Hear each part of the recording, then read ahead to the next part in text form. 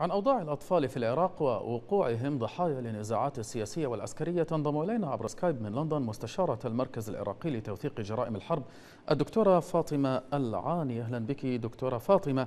يعني كما تعلمين تقرير أممي أكد وقوع انتهاكات جسيمة ضد الأطفال في العراق ما بين قتل وتعنيف على يد قوات الأمن الحكومية وميليشيات الحشد عام 2021 أعني العام المنصرم وليس قبل أعوام عدة.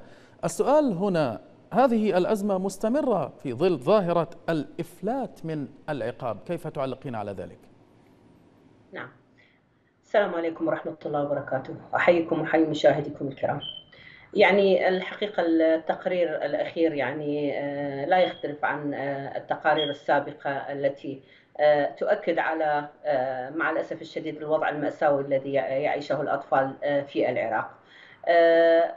طبعا كما آه، آه، ورد في تقريركم يعني الكثير من الانتهاكات والجرائم قد نعم. حصلت بحق الأطفال في العراق وبمختلف الفئات العمرية من قتل إلى تشريد إلى تسرب من المدارس إلى عدم الوصول إلى الرعاية الصحية أو أو التعليم عماله الأطفال آه، وغيرها انتهاكات التي تقوم بها آه، الميليشيات من آه، من خلال تجنيد الأطفال أو حتى قتل الأطفال أو استغلالهم. الكثير الحقيقة من الانتهاكات والجرائم التي تحدث بحق الأطفال.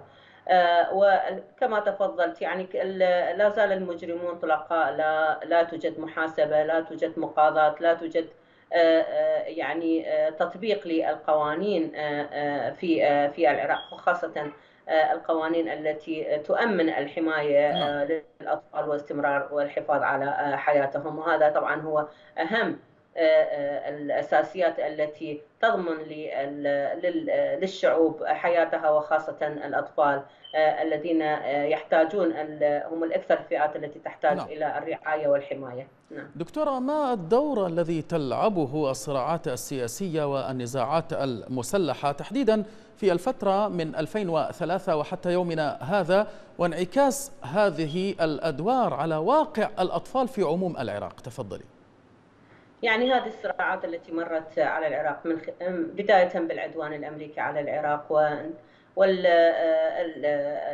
ما قامت به الحكومة من عمليات عسكرية ضد المدنيين أدى إلى الكثير من عمليات القتل للأطفال تشريد وتيتيم الأطفال يعني الآن هناك لا يزال النازحون في في المخيمات والذين يعانون من نعم. من أسوأ الظروف وخاصة الفئات فئات الأطفال الذين لا يتمتعون به الوصول آه، حق الوصول إلى التعليم أو حتى الحصول على الوثائق الإثباتية التي آه، ممكن أن تضمن لهم الحصول على لقمة عيش كريمة يضمنون بها حياتهم. أيضا حياة الأطفال آه، هي بنفسها معرضة للخطر من خلال حتى تواجدهم في المناطق التي شهدت عمليات عسكرية. فانتشار الألغام انتشار العبوات التي نعم. آه، لم تنفجر في هذه المناطق آه، أكثر ضحاياهم من الأطفال الذين يصابون آه، إذا لم يعني يموتوا نتيجة هذه التفجيرات فربما يؤدي ذلك بهم نعم. إلى عمليه إلى يعني حصول إعاقات لهم أصلا العمليات العسكرية أدت إلى يعني حصول إعاقات كثيرة لدى الأطفال. وجودهم في ظروف سيئة أثرت على كثيرا على نفسية الأطفال. فقدانهم لآبائهم جعلهم المعيلين لعوائلهم. نعم, نعم. مما أدى إلى تسربهم من المدارس وإلى استغلالهم من قبل الكثير من الجهات. وترى يعني كيف أن التسول يعني أصبحت يعني ظاهرة كبيرة في العراق وعلى رأسهم الأطفال الذين نعم. يعانون من الاستغلال في بناء نعم. بناء على ما تفضلت بذكره دكتورة فاطمة وحديثك كان عن فئات واسعة من الأطفال في العراق للأسف يعني بلا حماية ولا حقوق. السؤال هنا إلى أي مدى يؤشر ذلك بأن أطفال العراق خارج نطاق تفكير الحكومات المتعاقبة؟ الحقيقة يعني الأطفال هم فئة من فئات الشعب العراقي والمعروف أن الشعب العراقي هو خارج تفكير يعني آه، الحكومات آه، المتعاقبة من الاحتلال الأمريكي آه، للعراق.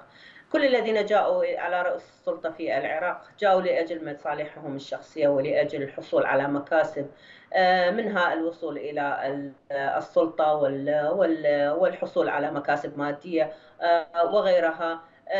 وجود أيضا حتى الميليشيات بهذه الصورة الطليقة والمطلقة زاد من تفاقم مشكلة الأطفال وما نعم. يحدث ضدهم من انتهاكات ومن حرمانهم من حقوقهم حتى حقوقهم في العيش والأكل والشرب والاستمرار حياتهم الذي يحدث في العراق هو عملية فقط مجرد الحفاظ على العملية السياسية والحفاظ على مكتسبات هذه الأحزاب والميليشيات، أما الأطفال وحقوقهم فهم لا يعترفون أصلا بها ويعتبرون حتى الأطفال هي أداة من الأدوات التي يستخدمونها من أجل الحصول على مكاسبهم، فهم لا يتوانون عن استغلال الأطفال.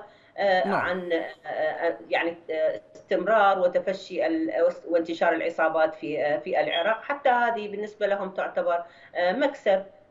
يستطيعون أن يحصلوا من خلاله على أرباح من المال الحرام من خلال حتى السماح للعصابات في يعني الانتشار في العراق والمتاجرة بالبشر وخاصة الأطفال أو المتاجرة بالأعضاء أو تهريب يعني الأطفال الكثير الحقيقة من ما يترتب على ذلك. كل هذا هو في الحقيقة ما يعني تقوم به الحكومة وهي في الحقيقة أهملت يعني حقوق الأطفال بصورة كبيرة واهدرت نعم. حقوق إلى السؤال الأخير دكتورة فاطمة يعني ما الواجب والمطلوب الآن من أجل تحقيق الأمن والاستقرار لأطفال العراق في ظل هذه المعاناة التي يعيشها الأطفال على اختلاف شرائحهم في ظل بلد يعني موجود في قائمة أعلى ثمان دول عالميا تنتهك حقوق الطفل بحسب تقرير يونيسف المطلوب الآن من أجل يعني تأمين أطفال العراق. تفضلي. نعم. يعني في الحقيقة في العراق يعني الحل الحقيقة ليس حل مجرد فرضيات ونظريات ويمكن تطبيقها. الحق في العراق هو حل جذري. خاصة وأن ما يحدث هو أنه هي مجرد عملية تبادل الأدوار وكل من يأتي هو يستمر في المشروع الذي لا يزال يعني مستمر في العراق وأهم مشروع أهم يعني عناصر هذا المشروع هو ضعاف فئات الشعب العراقي ومنهم الأطفال من أجل تحطيم مستقبل العراق ولذلك فضمان مستقبل الأطفال لن يكون إلا باستقرار العراق واستقرار العراق هو نعم. ان يتم تغيير وجه العراق إلى وجه أفضل من ما يحدث الآن. وذلك من خلال تغيير جميع هذه الوجوه والقضاء على من تسبب في هذا الدمار في العراق. ومنها هي ما خلفه الاحتلال الأمريكي من عملية سياسية أدت إلى عدم استقرار العراق لحد الآن ودستور يعني منبوذ لا لا يمت بصلة يعني ما يحلم به العراقي من العيش الكريم في في ظل وطن موحد. كل كل ذلك هو يعني يجب أن يتم تغييره بصورة جذرية من أجل أن يتم تأمين السلام في العراق وبالتالي الحفاظ على يعني مستقبل العراق وهم نعم. الأطفال الذين سوف يكون لهم كل المكسب الكبير إذا تم هذا الأمر. من لندن مستشارة المركز العراقي لتوثيق جرائم الحرب الدكتورة فاطمة العاني شكرا جزيلا لك.